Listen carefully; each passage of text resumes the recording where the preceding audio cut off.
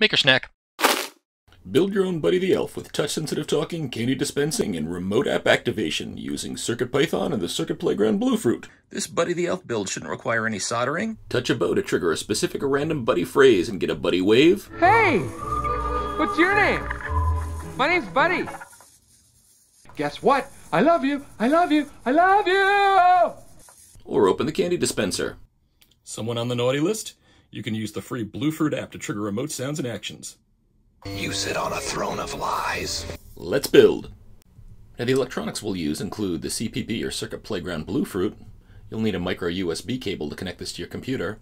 You've got a couple of choices with speakers. You can get these ones with built-in alligator clips, or you can connect any speaker that's got a standard RCA jack as long as you've got two additional alligator clips. If you want the no solder build, you'll need some screws and bolts, two micro servos, one to wave the hand and one to open the candy cane box, and you'll need two kinds of alligator clips one with male leads at one end to attach from the servo to the CPB, and the other with clips on both ends to attach the capacitive touch pads on the CPB to the wire attached to the bow.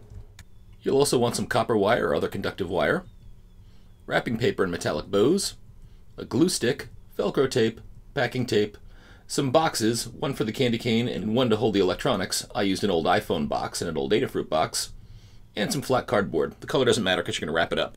You'll also want scissors, wire cutters and strippers, either a box cutter or a craft knife, glue or a hot glue gun to attach servos to your cutouts, some fishing line to link the arm to the servo, and some popsicle sticks to attach to the servo arms. You can search online to find an image of Buddy the Elf. I pasted mine into Mac Keynote. Then I took a screenshot of his arm. Then I pasted in the screenshot and used the Keynote Instant Alpha to remove parts of the image I didn't want. And if you're good at Photoshop, you don't have to use Keynote. Then I copied the edited arm, pasted it in next to my Buddy image, flipped it horizontally. Then I found an image of a hand that matched Buddy's, moved the arm to the foreground, positioned the images just right, and then I had Buddy's hand for waving to cut out as well. Then print out the images, glue the back side to a piece of cardboard, and gently cut out the image using an X-Acto knife or craft knife. I got rid of the ragged edges with coarse sandpaper, and I ended up pasting another Buddy on top to get rid of any tears I made during the first cutout. To make the arms more durable, I measured and cut out popsicle sticks, both for the size of the arm as well as the place where I attached the arm to the body, and I hot glued the sticks to the back of the arm and figure cutout. I poked a hole through Buddy in the arm with a screwdriver, but I later found out that using a small drill bit worked even better. You'll also cut out the bottom half of Buddy's right arm, and I pasted another piece of green printout to cover up where you could see fingers on his waist. I also started off using these cardboard rivets for the joint rotation, but I replaced them with M3 screws that you can get at any hardware store. These were stronger, longer, and gave a much better rotation. You can also put some weight on the end of the arm so that it falls more easily. You could tape on some pennies. I just glued on some old round magnets that I had. Glue one of your servos to the back of Buddy's neck and his upper back. This one will be used to wave his arm. The servos will come with a couple of these plastic horns. Then I tied a knot in fishing line and glued this horn to the arm, then tied a knot in the other servo horn and attached this one to the servo that I glued to the body. I also looped the fishing line through the notch at the top of the servo. This gave a better wave angle for the fishing line. Then I gift wrapped the box. I glue stick the wrapping paper to the box so that it would hold better. Then I poked a hole in the back of the box, poked the servo wires through the back of the box, and hot glued the servo to the side of the box. Then I glued the servo horn to popsicle sticks and push the horn back into the servo in the box. That creates the lid lift mechanism. So I've wrapped a piece of cardboard and attached five bows. These bows are going to be capacitive touch points that are going to trigger Buddy to speak or to raise the candy box lid. Poke a hole near the base of each bow, then thread copper wire across the back of the cardboard and through the hole you just poked. And loop it around so that you can't see it, but that it touches a good portion of the bow, so there'll be good contact for cap touch. And leave enough length on the wire so that you can attach them to an alligator clip. Use packing tape to secure the wire to the bottom of the wrapped cardboard. You want to make sure that these copper wires don't touch, otherwise it'll create a short. So the wiring on your CPB is going to be pretty tricked out. Let me talk you through how things are set up. First, the touchpads. So there is a touchpad associated with each of the five bows, and your code refers to them as touchpad 0, 1, 2, 3, and 4. And we can see over here that touchpad 0 is clipped to A2, touchpad 1 to A3, touchpad 2 to A4, touchpad 3 to A5, and touchpad 4 to A6.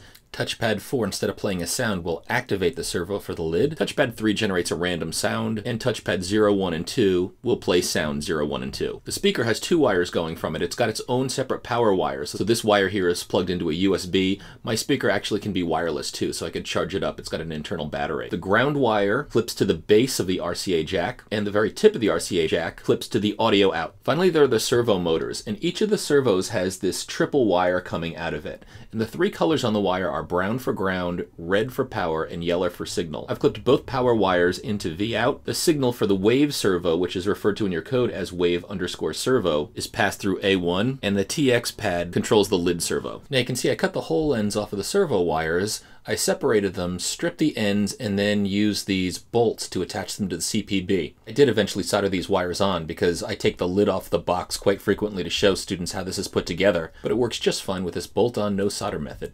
And if you didn't want to clip the connector off of the end of your servo, you could take three wires with pins on them, plug them into the holes in the servo connector, and then clip the other ends to alligator clips, or get wires like this with alligator clips on one end. So hopefully the diagrams are useful because this is what everything looks like when things are clipped on. It's tough to tell where stuff is, but everything here is exactly what you saw in the diagram. Make sure you've got your micro USB plugged into your CPB as well because that's going to drive power. Then I'm going to tuck everything into my wrapped iPhone box. And the box has a slot cut in it so the wires can sneak through. I mounted Buddy by putting some Velcro tape on the back of him and the other end on the side of the box. Now that Buddy's all wired up, let's take a look at his code. You can find the code for this project at github.com slash Gallaugher, that's spelled Gallaugher, slash buddy dash the dash elf.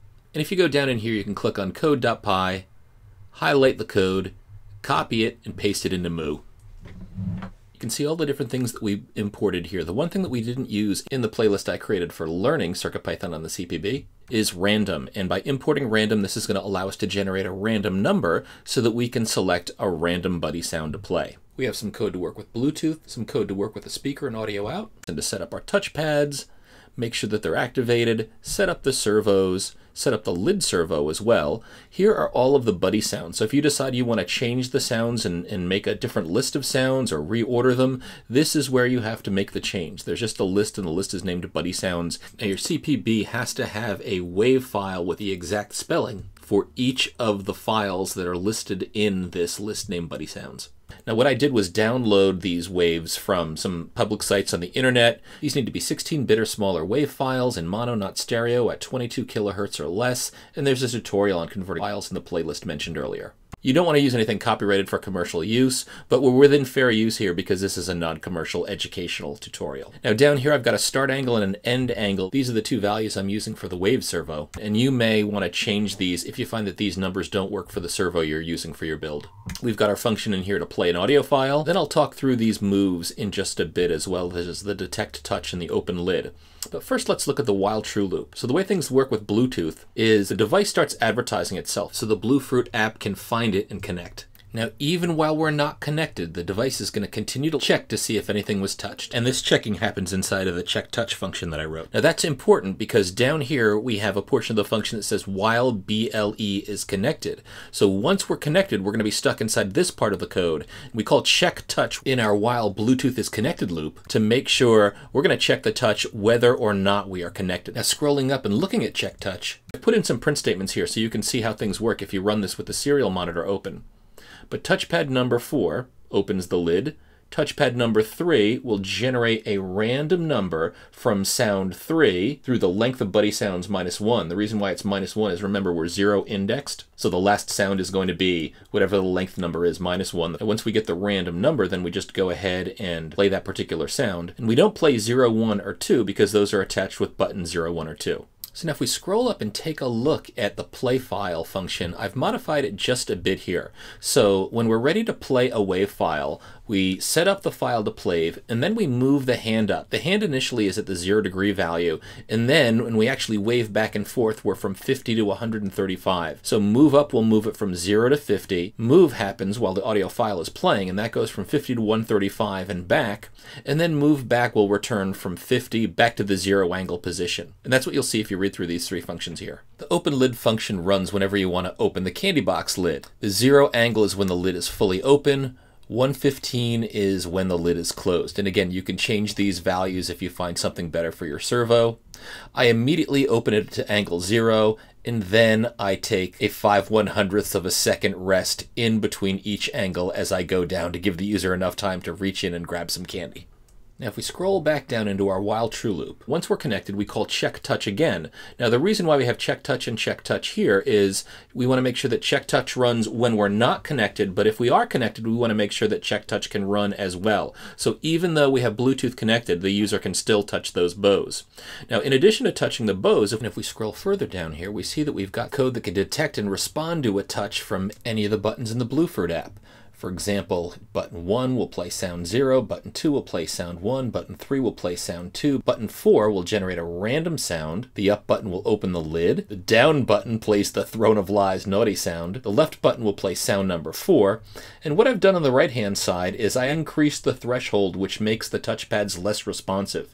And I did that because for some reason, when I place this build on one of the desks at work, it's too sensitive and the touchpads keep going off. So if you have this occur, all you need to do is press the right button after connecting to Bluetooth, and each press should increase the threshold until hopefully your device won't go off on its own. So if you pasted this code in fresh, now we can just go ahead and make sure that we save it to our CPB. I'm just going to double click on the tab up here, make sure that I'm inside of CircuitPy. I'm going to type in the name code.py. That's the name of any code that will execute as soon as the Circuit Playground Bluefruit is turned on. Click Save. Replace anything that's there and we're good to go. Let's try. So I cut out instruction labels and labels for each bow. Hey! What's your name? My name's Buddy. Best way to spread Christmas cheer is singing loud for all to hear. Santa's coming. There's so much to do. Guess what?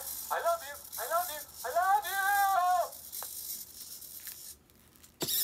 And Buddy was so popular that I've only got one candy cane left.